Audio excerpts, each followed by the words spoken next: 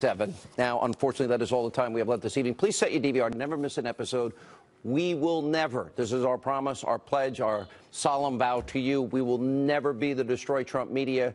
We are the fair and balanced part. Let not your heart be troubled. The news continues. There she is. Another night of kitten killing, oh. apparently, according to these calls. Um, Sean, I can't believe you still, you guys still haven't heard my recorded message. You still got. You guys still haven't it picked it up. It fills up in like 20 seconds. The whole. No, no, no, no, no. I left a message yesterday. You did you not. yes, I did. And you guys still haven't managed okay, to pull it and play say? it on the show. What did you say? It was in a foreign accent, but it was very respectfully done. There was no cultural misappropriation. It was all above board, but it's very specific, the criticism. So I need you to respond to it tomorrow. All right, we are going to be listening. We're going to be, and we'll play it tomorrow. Have a great show. All Laura right, Ingraham's Sean. next, the Ingraham Angle. All right, and good evening from Washington. I'm Laura Ingraham, and this is the Ingraham Angle. In light of his powwow with a number of pro amnesty congressional leaders, should the president's core supporters panic? That's the focus of tonight's angle. As I noted last night, it was terrific for the president to let the sunlight in during that DACA back and forth at the White House. Transparency is long overdue in the legislative process. It's something I've been asking for for years. He was engaged and he was enthusiastic about having both sides at the table. That was really good. He also reiterated that the wall and ending chain migration was a prerequisite for any deal on the so called Dreamers. But not so reassuring was when this went down. You turn on Fox News, and I can hear the drumbeat coming.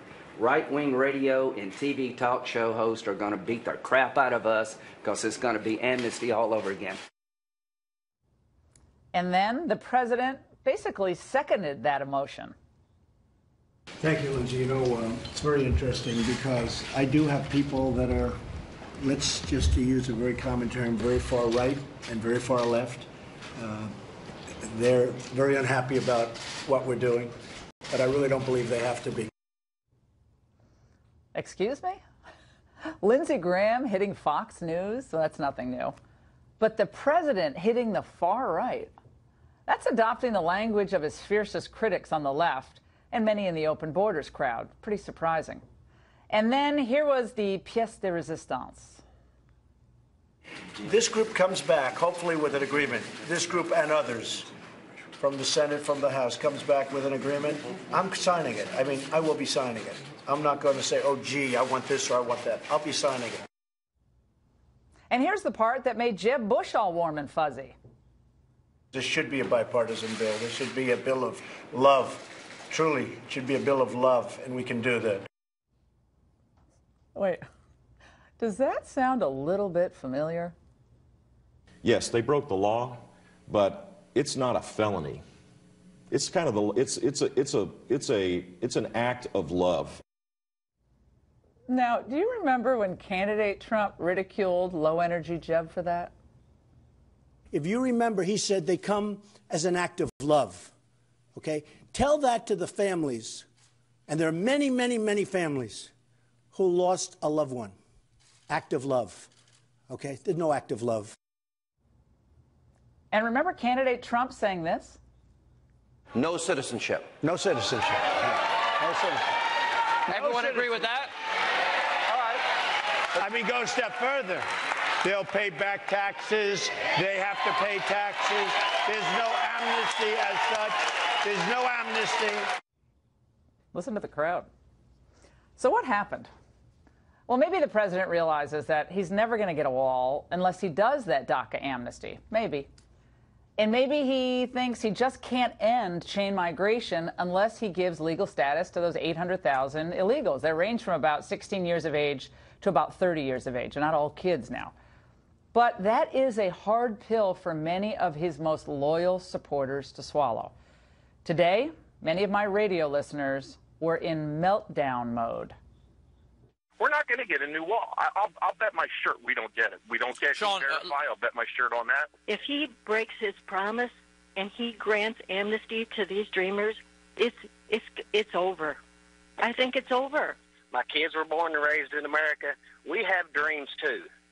You know, If we don't we don't obey the law, nobody comes and gives us free stuff. We are not far right when we simply insist on abiding by the legal immigration rules and national sovereignty. When did that ever become far right? I'm feeling deflated right now. Well, I did my best to buck up the listeners, but it wasn't easy. Now, it's true, President Trump is winning praise for his newfound openness to things like comprehensive immigration reform. We all know that's mass amnesty. But he's winning it from some of the same people who are enemies of his populist agenda. And by the way, the same people who revile his supporters. I thought that it was great to see our friends in both parties in there. I think opening it up and letting us see them talk to each other, uh, there was a positive feeling about that. This is the presidency that many people thought Donald Trump was capable of. Just the notion of him being in command. I think it was very helpful, both before the cameras left and, and after they left. That's the guy who wrote the book just trashing Trump and didn't even vote for him. Well, not so long ago, like yesterday, they were calling you, Mr. President, and your agenda far right, extreme right, racist, xenophobic, alt right. The president's new friends, the bipartisan cabal that's been pushing amnesty for years, have a few goals in mind. The Republicans, they want cheap labor. And the Democrats, they want new voters who are captive to big government. But there's another goal that the establishment hopes to accomplish. They want to separate Donald Trump from his base and break the spirit of the populist movement. Well, they're not going to succeed. They think they will, though, because people like Steve Bannon is sidelined and they think their moment has arrived. The president has to remain loyal to his supporters and to his agenda, the one he ran on, the one that won all that applause and rave reviews at all those rallies where people stood in line for hours in the cold. And he has to be willing to walk away, yes, walk away from a bad deal, just the way Reagan walked away from a bad deal with the Soviets at Reykjavik. Look, we all understand that governance is difficult.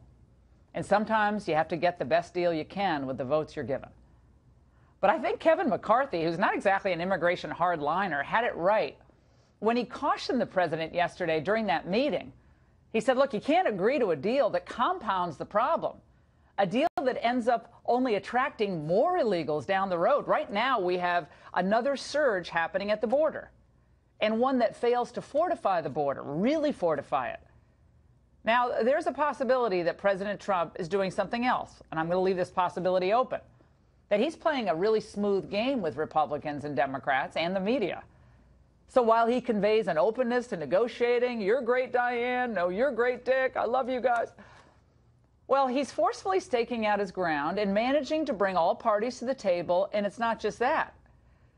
Just this week, there are really encouraging signs. The president is actually doing the hard work of enforcement. He just announced that 200,000 Salvadorans who were supposed to be here temporarily, been here for about 25 years, are going to finally have to go home because guess what? The hurricane's over. And today, the administration raided about 100 7 Elevens, hunting for illegal employees and going after the employers who are abusing them and abusing the system. This is the kind of robust, proactive enforcement that Americans expect and his supporters demanded. But when it comes to any DACA deal, the president has got to realize there are just two things that matter above all else. Number one, DACA is the only leverage the president has to implement his entire immigration agenda. And number two, Democrats favor granting citizenship to these illegal aliens because they believe it is the absolute key to achieving a supermajority, just like the one they currently have in California. They want that in every key battleground state. So there's so much more at stake than just the future of the Dreamers. This deal could decide the fate of the country. I'm going to wait to see what the final DACA proposal looks like. But if it does not include a wall, a real wall, not a see through wall, expect a political revolt from the base, which means losing the House and maybe even losing the Senate. And by the way, chain migration, absolutely necessary. So if he doesn't, if those things aren't in the deal or they're watered down so badly they don't really exist at all, we end up losing the House, the Senate. Who's going to be left to defend the president? Dick Durbin? Lindsey Graham? Or all those hard right people who host radio shows or on Fox News. The president did not promise his supporters an opaque electronic fence that only covers a third of the border. He promised them a wall, a big, beautiful wall. And unless it's built, unless chain migration is ended, I fear, Mr. President, your most ardent supporters will write you off as just another politician who said something he didn't really mean. And that would be heartbreaking. And that's the angle. Joining us now for reaction in New York is Monica Crowley. She's a senior fellow at the London Center for Policy Research. And here in Washington, Tamar Jacoby. She's an immigration activist and president and CEO of Immigration Works. And Corey Lewandowski, former campaign manager for Donald Trump and co author of the new bestseller, Let Trump Be Trump. All right, uh, Corey. Um, there are people, you heard my radio listeners, they are really worried. I want to hold out hope and reserve judgment for the final deal. But you heard this, the quotes from the president at that meeting. He'll agree to anything they say. Uh, it, the deal is going to get done. Uh, comprehensive immigration reform is coming. Uh, and uh, just that alone, and then, of course, throw in the reference to the hard right. And people aren't too happy, the ones who actually stood in line in the heat in the winter weather to see him. This president has made campaign promises that he needs to fulfill. And if you don't fulfill those campaign promises, what we will see in November is a retaliation against the president because he hasn't done that. And the first and biggest campaign promise that he made was to build a wall. I went to all those rallies. We heard the response. We saw that Mexico, we heard that Mexico was going to pay for it. This is a hallmark of the campaign that Donald Trump ran on to make sure that we're putting America first. That has been his agenda. That is what he campaigned on, and that's what he's going to fulfill as the President of the United States. Uh, Tamar, the uh, people like Jeff Flake, who didn't even vote for the president, he's probably in closer to you in agreement on immigration than he certainly is someone like me or, or the candidate Trump. He said the the wall will be something like maybe 700 miles, but it won't really be a wall everywhere. It'll be kind of fencing and so forth. Would that be acceptable to someone like you? No, I think we need to secure the border. We need to do whatever it takes to secure the border. And there's Jeff Flake is not the only person in Congress who's working on this, and he's not the only person who said the president was going in the right direction today. So did John Cornyn and some conservative senators like Tillis and Lankford and well, people Tillis in the House. People in Lankford's the House. People better. in the House like Goodlatte and Labrador. There are plenty of conservative, tough, hardline Republicans who think we need a DACA deal and think a DACA deal is the way to build the wall. Yes, of course we so need you can't build a the wall. I mean, we, I think you're right. There's not the votes to do that, but obviously Right. you could physically You could physically, but you, if you want to find the, the money, the way to get the money out of Congress, right, you but need if people, some bipartisan but, votes. But if if people actually thought that a fortified border was important, and you it, recognize that we need uh, security so on we the need border. we need roads there. We need a wall. We need or, you know, sensors, we need yeah, more yeah, men, We need, we need a lot. we need, need lot. judges, we need all kinds of so things. that is an absolute must to have. So why link it?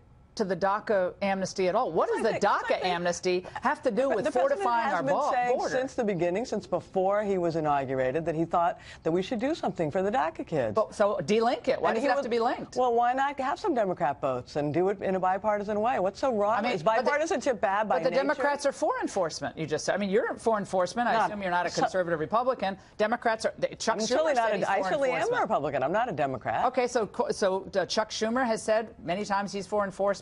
Other Democrats, they're totally for enforcement. But they also want to do something for the DACA kids, Right, As Monica- does the president. Monica, uh, look, I want to believe in my heart of hearts that there is not some major sellout in the offing. I can't imagine the president would do that. I mean, that would be the end of his presidency. He would. It, it, I, I think you know. Look, you already have people who are concerned about this, but if it goes ahead and does that, you know, I, I think. That few people have given him better advice than probably, you know, the kid sitting kid. He's a kid to me. Corey sitting here, myself, and a few others. Uh, but he has a lot of friends now, newfound friends who are calling him racist, sexist, xenophobic. Seems like yesterday. Yeah, I don't think he cares much about his newfound friends who are lavishing him with praise based on, on what went down in that meeting yesterday, Laura. Look, we are a little worried because we're so conditioned by establishment Republicans and others who have let us down over many decades, people on, on both sides of the aisle, frankly. This president is completely different. I think what you saw in that meeting Donald Trump knew what he was doing. He knew what he was doing with that strategic contradiction. Look, he, of all of his campaign promises, build the wall, inspire the most passionate support. I don't think he's going to let us down on that. His platform about dealing with illegal immigration once and for all, he knows he's got one shot uh, before the end of the year in the 2018 uh, midterm elections. He knows what he's got to do. He's got to start funding uh, building the wall. He's got to end sanctuary cities. He's got to end the visa lottery program. He's chain got migration. to end it's 44% chain migration. of the green card holders this year. Absolutely. He's got to accelerate deportations Yep. and he's got to unblock those immigration courts. I know that's a tall order, Laura, but this Yeah. president is up to it. That's what he promised. He's and got to he do it. his promises. Got to do it. It can't be whatever Durbin and Feinstein and, and Cory Gardner agreed but- to. I have Cory. I have thoughts for Cory Gardner later on in the show. People do not want to miss what I'm about to reveal about Cory Gardner. Um, Lindsey Graham said this today to any of us who would dare criticize these tactics. Let's watch. Those folks don't have to solve problems. The president does. He's got to work for, with Democrats to fix problems like immigration. They don't. They're pretty much outliers when it comes to where the American people are. His job is not to, to sell books. His job is not to carry a TV mm-hmm. show. His job is to solve problems. Oh, thanks, Lindsey. That was we, we didn't realize that he's actually the president. Corey, take a shot at that one. Look, the president has been brought to Washington to solve the problems that this Congress and many before them have created for the last That 30 they've years. created, that, they've people done. like Lindsey Graham Look, have created by leaving the border open. Laura, we've seen this for 30 anybody. years. They've had Come the chance on. to fix the problems, and they haven't done so. Donald Trump has now come in, passed a massive tax reform package, the first time since the Reagan administration. Which we celebrate. And what, what the president is going to do is to fulfill the campaign promises that he outlined. What we saw yesterday was quintessential Donald Trump. He brought the cameras. I in. loved he it. Hold those, I love he held that. those guys accountable. I love it. He should do more of it. Have them Yeah. accountable on television. agree. The Democrats hate that because they want to go and make this rhetoric and have these propaganda But for answers. Lindsey Graham to be sitting at that table, you, you know, you, your friends stick up for your friends. When Lindsey Graham's sitting up at the table, and I like him personally very much, always have, uh, Fox News and Hard Right, he tried this line in 2007. He went down in flames in 2007. They tried it in 2014. You know who's no longer here in Washington? John Boehner and Eric Cantor. You know why they're not here? Because they sold the country out primarily on immigration. Tamar, I want to go with, uh, with you on this. On the issue of chain migration, the Democrats have said, who I've been able to interview, they are not for reductions to chain migration. What is your sense Yeah, over time, over time, we definitely need to rebalance. Too much is family migration, not enough is employment-based migration. But it's a real, it's a, it's a, that's a historic change. We're going to change 200 years of history. We need to do it carefully. That's not right. And Democrats aren't going to be ready to do it, it uh, right now across the board on this deal. Well- we'll make some. They can make. I'm, I think it's possible to make some changes to chain migration. Okay, right. But to totally change the system, I don't think it's going to happen Just around for the deal. record, we actually changed our immigration policy in 1965 for changing it from a merit-based system to primarily a bringing in the entire family tree migration system. Yeah, no, it used to be a we have now. country-based immigration well, system. But, It wasn't was, merit-based. It was very It much was when we were in country-based. industrial age, when we had heavy and it was country-based, and people brought people Right. they knew from their that- right. relatives And just so Fox country. listeners understand what we're talking about here, there are a million green card uh, grants every day, granted every, Every year.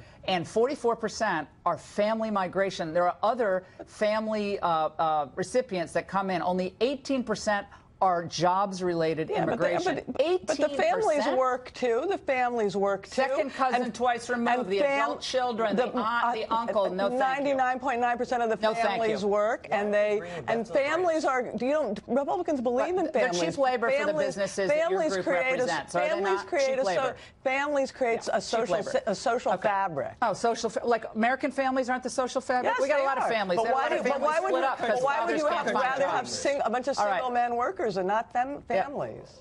So they're better than we are. No, they're not better than That's, me. that's what you think, No, though, that's right? not. That no, they're, of the, not. the illegals No, coming in with uh, no, all the extended no, I think- family I are think- better than the no, American I- workers no, I, can't I keep their families immigration- together. immig- no, I didn't say anything like that. Immigration. I think immigration should be legal, not Yeah. illegal. But some family migration is not a Yeah. bad thing. Adult If uh, this legally, spouses need to go and back. children. Yeah. Illegal people, Donald Trump said countless times on the campaign trail, need to go home and apply the right way. That's the rule of law. If you want to change the law, change it. But I'm telling you something. Compromise on this thing is this going to be a bridge too far. All of you, we could have you for an hour. I wish we did. And by the way, how Trump is signaling a possible showdown with Bob Mueller over the Russia probe. Corey's going to want to talk about that. Plus, the president says Senator Feinstein may have broken the law by releasing congressional transcript from that Fusion GPS. Is he right on that? That debate coming up.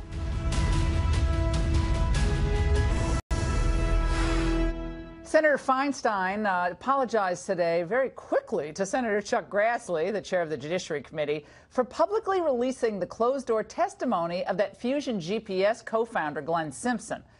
She said she was pressured to release it. By whom? And then she added this ridiculous apology to the senator. The one regret I have is that I should have spoken with Senator Grassley before. And uh, I've got to, I don't make an excuse, but I've had a bad cold, and maybe that slowed down my uh, mental facilities a little bit. Good Lord. President Trump says Feinstein possibly broke the law. So is that actually the case? Let's discuss this with Fox News contributor and senior editor of The Federalist, Mollie Hemingway, here in the studio, and Sol Smiley Wise. Wisenberg. They put that in the prompter, Sol. That is so unfair. You're just serious. in Raleigh, North Carolina, former deputy independent counsel for the Whitewater investigation. Okay, uh, Sol, I want to start with you. The president said this could have been illegal because what she was operating while under the influence of Robitussin. I mean, I don't know what she was doing That's here, it. but it, it's not illegal, is it, for her to release this? Just maybe unwise or imprudent. Yeah, I can't think of a law that it violates. It's, uh, it was an unclassified session, from what I understand. Uh, the documents involved that he was talking about were, I mean, he's a private citizen, so uh, that's probably why he said she possibly violated a law, right? I possibly violate a law every single day. Most Americans do. There are a lot of uh, laws on the books, but I think she's safe. All right, we're going to get into who um, Mueller has hired on his legal team Sol in just a moment. But Molly, so it might not be illegal, but what is really going on here? What's the bigger part of this narrative for our, our viewers who aren't all that, you know, accustomed to understanding this whole Fusion GPS deal? Right. I don't think it was illegal, but it was very bizarre that she kind of blew up her committee. That's normally a very collegial committee, and that was a very weird thing for her to do. But the testimony was interesting. I think what she was, I think what's happening is that everyone's kind of coming to the realization that collusion isn't happening, and they're just panicking and they're just throwing everything out there. But the testimony was interesting, and it did. I mean, it already included two things that were false. They, he said that there was an F, that there was a mole in the Trump campaign, and he, he, the guy who said that walked it back. There was also the lawyer claiming that someone was killed over the dossier. He walked that back. But it did point to the FBI playing around with this. They did talk about the wiretap that they secured, and these are the things that remain the focus now. People are curious: was this opposition research used? Was it weaponized by the Obama administration to spy on an opposing political But if they release they release one closed door interview transcript, what, doesn't that beg the question of where the, let's release all the others? I mean, why just that one?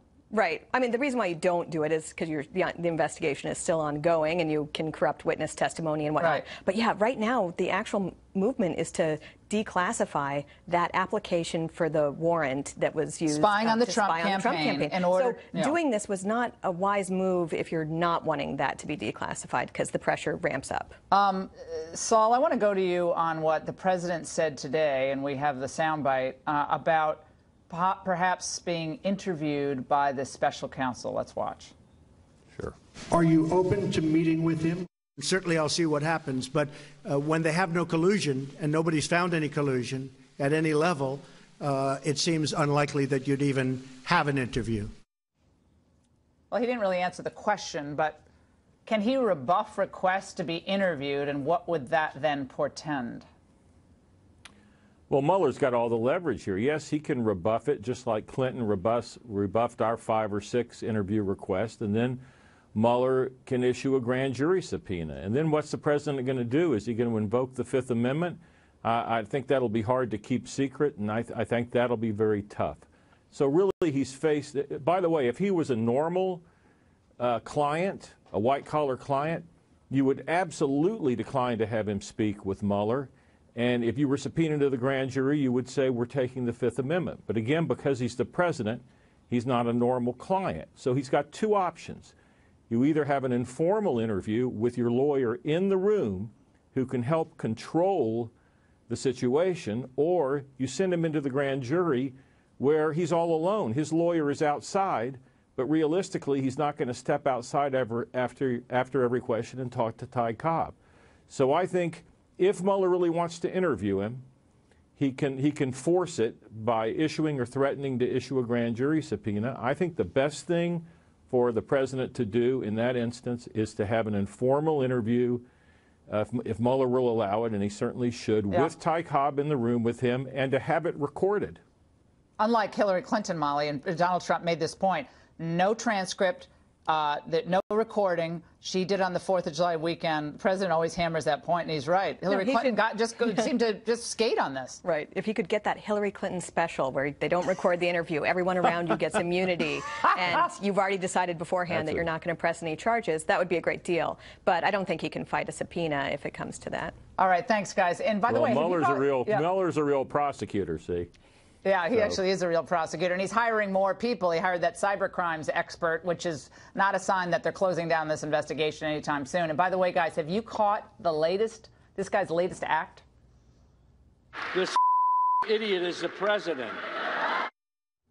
Well, my response to Bobby De Niro and the Me Too movement targets another actor. Stay tuned.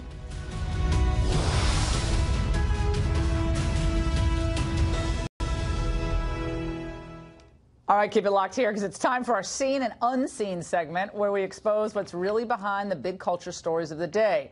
And first up, Robert De Niro, who's truly one of Hollywood's iconic tough guys. But his act isn't so award winning when he talks trash in the real world of politics. This idiot is the president.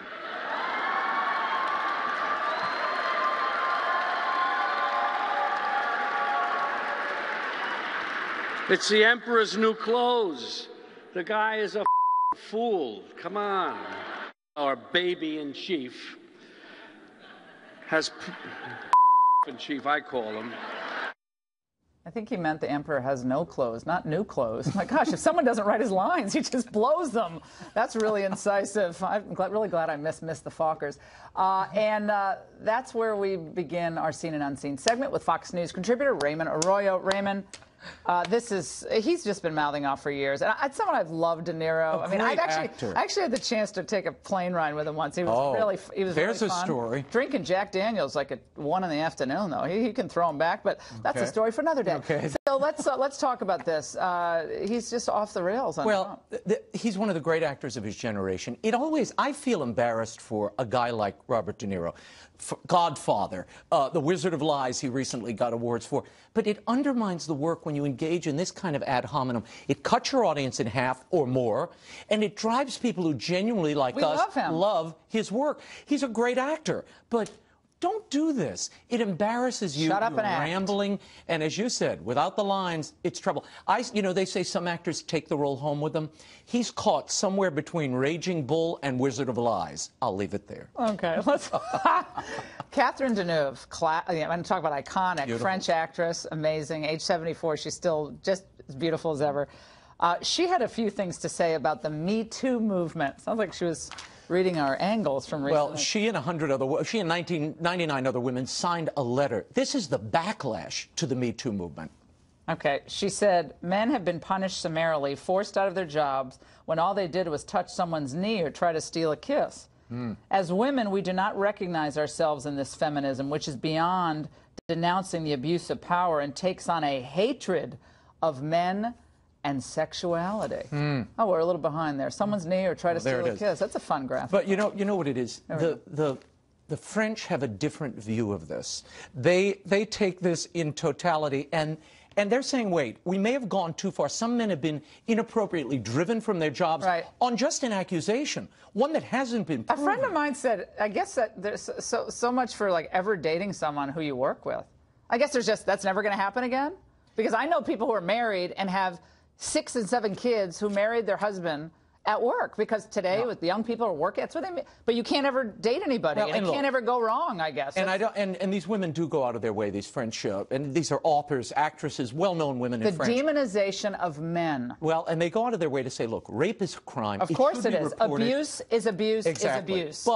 go out of their way to say, look, rape is a crime. Of course should it be is. reported. Abuse is abuse exactly. is abuse. But let's not get carried away. This is a part of who we are as men. No, no. women. The best ever was Meryl Streep last week saying that Dustin Hoffman Oh. in 1979, Slapped her another film, hard. another film I loved. It was hard, it was searing. Kramer that film. versus Kramer. Kramer versus Kramer. That in the scene where he slaps her, he slapped me too hard.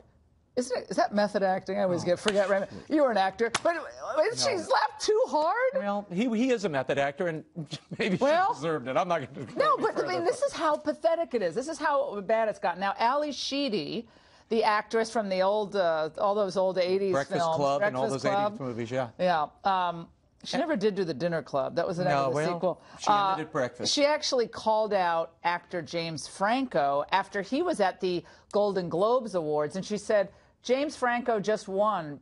Uh, please never ask me why I left TV, the TV and film business." Um, basically saying that he was. She, uh, she claims with two other nightmare. actresses that there was some chicanery going on. One actress on Twitter, after he won the Yeah. Golden Globe for a movie appropriately called The Disaster Artist, um, she claims that he uh, made her take her clothes off for a film. Uh, another claims that Oh, he not- he- seduced a 17 year old, which he, he's admitted to. Oh, wait, we have a film out that's nominated for all these awards of an adult man seducing a 17 year old boy. And that's called the most amazing. I mean, Call Me By Your Name. Call Me By Your Name. I always forget the name of the Yeah, film. it was nominated. Well, apparently you can't I remember the can't call it by its name. I can't remember it at all. But that's like the epic art house film of the year. Adult man seducing an underage boy, but James Franco apparently can't seduce a 17. Okay. Well, here's the Okay, I just need to understand these very confusing rules. James Franco got up and accepted his Golden Globe with a Time's Up button on his lapel. Oh. Hollywood undermined itself and its message by giving this guy a Golden Globe when he may be one of the malefactors here, one of the guys they may have to strike from the record. Well, the New York Times yeah. today canceled an event with him because of Okay, these can- charges. should we play the Colbert? Do we have time? Him on Colbert? No, we don't have time. Oh, Tommy well. says we don't have time. Oh, what a tragedy. He kind of denied the charges. He denied. He denied. He said. He said, "I'm not sure." Uh, I'm here. No, no. This is my favorite. I'm here to listen and learn and change my perspective. Don't you know? Where it's where it's often I'm completely willing and I want to. Oh. Again, if someone doesn't write their lines, they're really bad writers of their own. Uh, Raymond, thanks so much, Thank as Will. always. And up next, I confront a transgender politician who's led an effort to ban the words he and she from my old home state, Connecticut's Stamford legislative rules. Go away.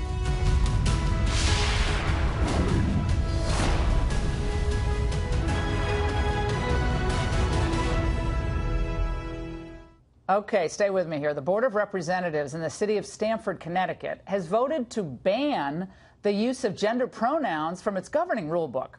That means people can't be referred to as he or she in the city's written rules. Don't they have bigger problems in Connecticut? One of those who proposed the change is my guest, Raven Matherne, the state's first openly transgender elected official. Welcome, Raven. It's great to see you. How are you? Doing good. Thank you so much for having me. Absolutely. Okay, so get me up to speed on the pronouns because Okay. in in New York, you have to use you can't use he or her or she or him at all. I guess you have to use z or her, z e or h i r, or you can use they or their, and you can be fined if you don't use the right pronoun in New York. You actually can be fined. No. So you're not quite there. So No, explain your To be honest, I, I, I'm not too uh, up to date on New York State's laws as I get my stuff happens in Connecticut. Uh, but really, my goals here, my the issues that we were trying to tackle were simply the rules of the board. We're not looking to ban terminology. Quite the opposite. I think I lead the charge in allowing people to use their pronouns. I don't want to tell someone, no, you can't be a he, and no, you can't be she. Quite the opposite. Use what makes you happy. Use what uh, uh, makes you feel right. But you require that people refer to you as. Now, when did you transition? When, wa- when was that? Uh, so I, I don't like to use the word require. Um, I, I prefer if someone else is going to use gendered nouns for me that I don't Yeah. like, I'm not going to sit there and take offense to it. I mean, there are bigger issues at hand than this. Uh, I, this issue, what we were doing is, and I, I, I hesitate to even say we because when I got on the board, when I was elected, Yeah. uh, the first issues I wanted to tackle were, uh, and we are tackling, are issues of development not being handled responsibly in our city and things Yeah, of that crime. nature.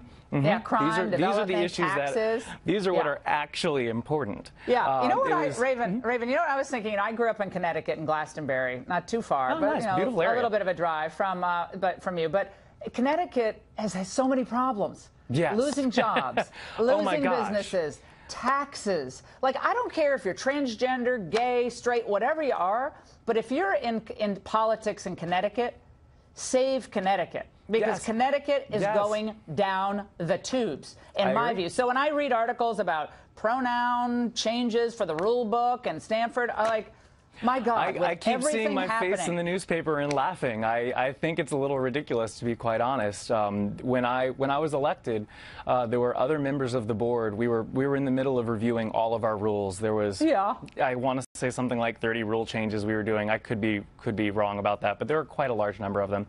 And this was one proposed by a couple other people on the board, both Democrats and Republicans, that were looking at it and saying, "Oh, I guess this doesn't really fit, considering who was just elected. So- what can we do to make Yeah. the rules more appropriate?" So you weren't even the real driving force behind this. There were some like.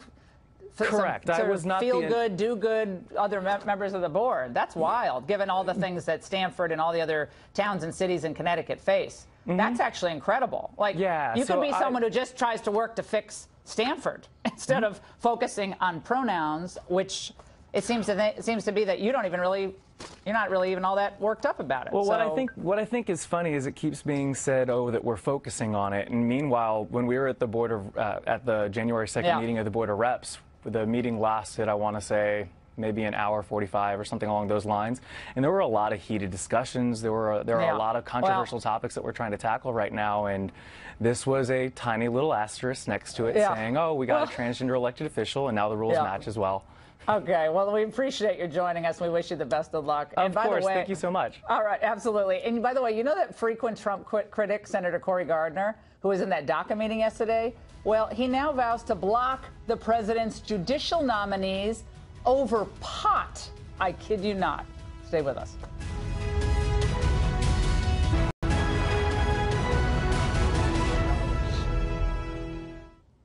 Welcome back. A tale of two senators. That's the subject of tonight's bonus angle.